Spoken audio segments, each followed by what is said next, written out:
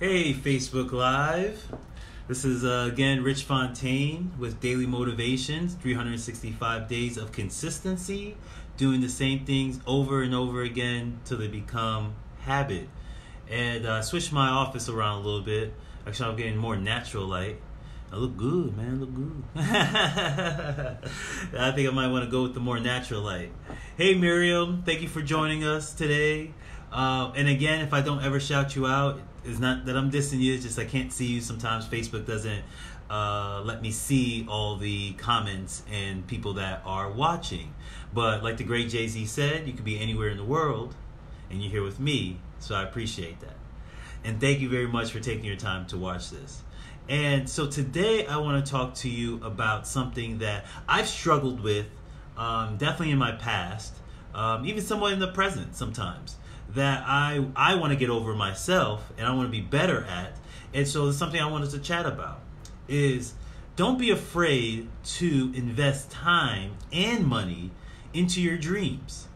See, many times we want things to manifest for ourselves. We want to create things. We want to have a great program. We want to have a great book. We want to have a great business. We want to have a great business model. We want to have a great service. We want to have a great product. And we want to have a great life. But sometimes we don't invest the time or the money into those things that we want. And in knowing what you want, you have to understand that you have to put in the time and the money to get what you want. It is the law of compensation. You have to give before you receive.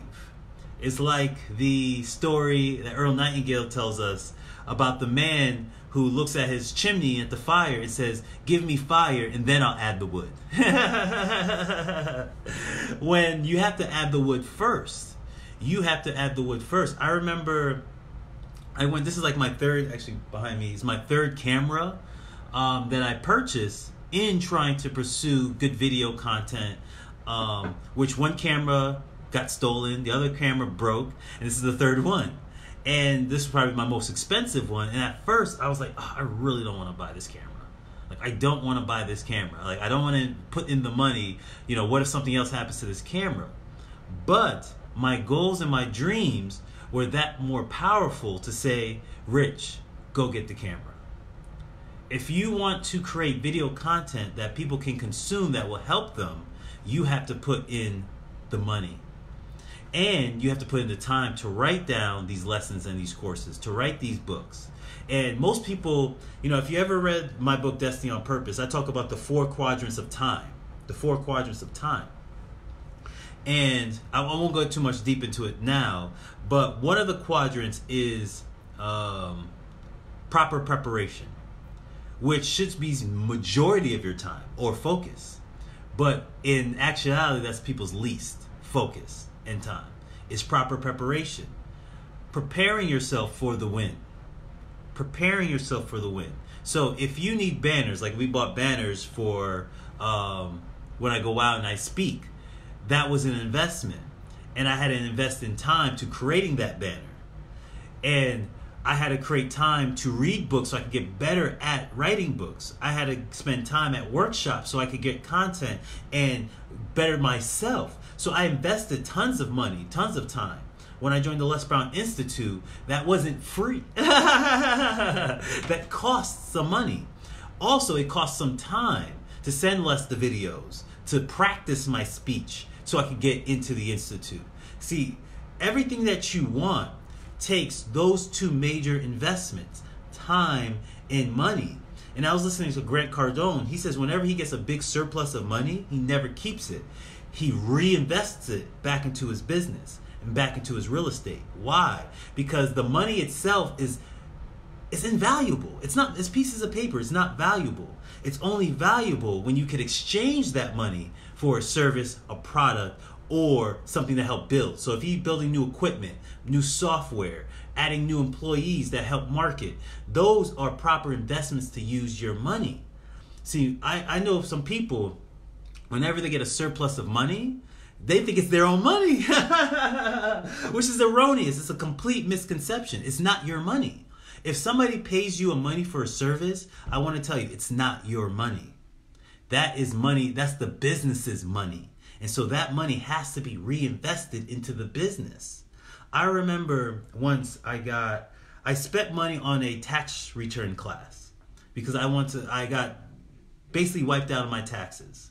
And so, in order for me to have a better tax return, I started learning about taxes. I invested money and time to learn about taxes that actually got me more money back in years to come. See, the time invested in that small portion created more money.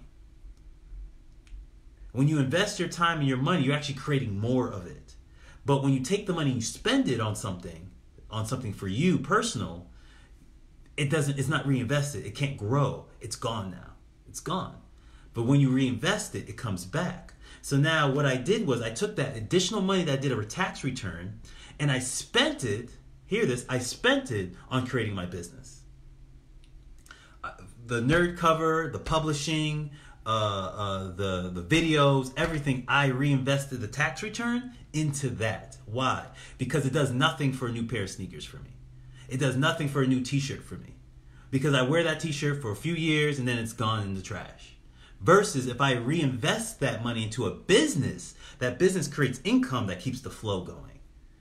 So when you invest your money in your time in your dream, that's when you actually are growing the dream versus when you spend the money or the time and you squander it. Like hey i could put in time in my business. I could put in the effort in my business. I could spend more time researching. I could do all that but you know who wants to do all that? Nobody wants to do all that right? Of course not. But like my great like the great mentor the great les brown said do the things today others won't do to have the things tomorrow others won't have do make the sacrifices today to have the things others won't have tomorrow. And that's how I think. I think of less instant gratification and more long term gratification. What do I want in five years? What do I want in 10 years? What do I want in 20 years? And so my decisions with my time and my money goes towards the future, never in the present. Because the present is the past to, summed up that came today. So if I want my future present to be good, I have to invest the time in the money in the present to make my future present outstanding. So when you are willing to invest your time and your money, so ask yourself, ask yourself th- this week, how do I spend most of my time on? And now, is this going towards my future dream and my future goals, or is this going away from it? How am I investing? How do I spend my money? Do I spend my money going towards my future goals, or do I spend my money going away from it? That's the, every time I relinquish cash from my pocket, that's the question I ask myself. Is this going towards what I want or is this not going towards what I want? And if you make every single decision with your time and your money toward what you want, you, are to get what you want. It just has to happen. It has to happen. It's accumulation. It's compounding. It's energy. As you accumulate and compound energy, it grows. And anything. And anything. It's science. And your focus is growth. Your focus is energy. And as you focus on one thing, grows and grows and grows and expand, it has to manifest itself. It's law, it's nature. It has to happen. So, this week, whatever you're spending your money on, or your time, if you're quarantined or not quarantined, doesn't really matter. Whatever you're spending your time on, reevaluate that and see is this going towards what I truly want, the lifestyle, the dream that that's in my heart to accomplish? Or is this not going towards it? Is this going towards back to old habits? Is this going back to the old me? This not going this is going towards instant gratification. Those that's the split. That's the split between those who get what they want and those who do not. Is they evaluate how I spend my time and how I spend my money and they put it pointed to a direction. And the ones that pointed to the direction of this is what I truly want, this is what I want to accomplish, always get it, man. They always get it. I, interview after interview, they said, man, I spent tons of money on my education. I spent tons of time learning this craft. I spent tons of energy while people are going out. When I started writing my first book, I remember this story like it's yesterday. I'm gonna leave this story. I'm gonna end it. uh, my boy Jeremy, he calls me up and he's with like these four or five girls, right? And he's like, Rich, yo, you gotta come to the bar. I'm on international driving with these five chicks. Yo, I show them the picture. They think you're handsome. They want you to come through. Yo, uh, get here as soon as you can. And I said, man, I'm in the middle of writing a chapter. And he said, a chapter? What are you writing a chapter for, man? Listen, you need to come out here. Come get this instant gratification. and I said, nah, man, I can't do it, brother. Um, I'm going to stay here and I, I'm going to finish out this chapter. And he said, lame. And then I remember he saw me at my book launch. It was one of my, my best book launches I've ever had. I loved it. And he was there. He said, You know what, man? I'm proud of you. I'm proud of you. See, one decision was going towards my goal, one decision was going away from it. I could have went out that night, but what would I have gained? But me being disciplined, me being disciplined and staying on task helped me create a career for myself. So the only difference is are you what are you spending your time and your money on? Truly evaluate it.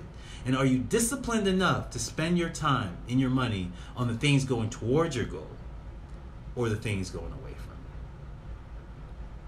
Again, this is Rich Fontaine with uh, Daily Motivation 365. Uh, episode 111. This is a special 111. 111. This is a special episode. So please like, please share, please comment, put this with your friends because this is it. This is one of the keys, major keys to success. Your time and your money. How do you invest it? How do you spend it? How do you save it? Trust me. hey, I appreciate all of you. And soon, uh, somebody actually asked about this. The planner I'm actually going to have available on my website by March or by May 2nd. Um, but if you are interested in the Write to Grow Rich planner, how to stay on task in writing your new book, how to set a schedule because nothing happens without a schedule. Um, this is actually available. Um, not yet on my website, but you could email me or DM me or message me, and I'll get you this actually at a cheaper price now before it actually goes on the website. All right.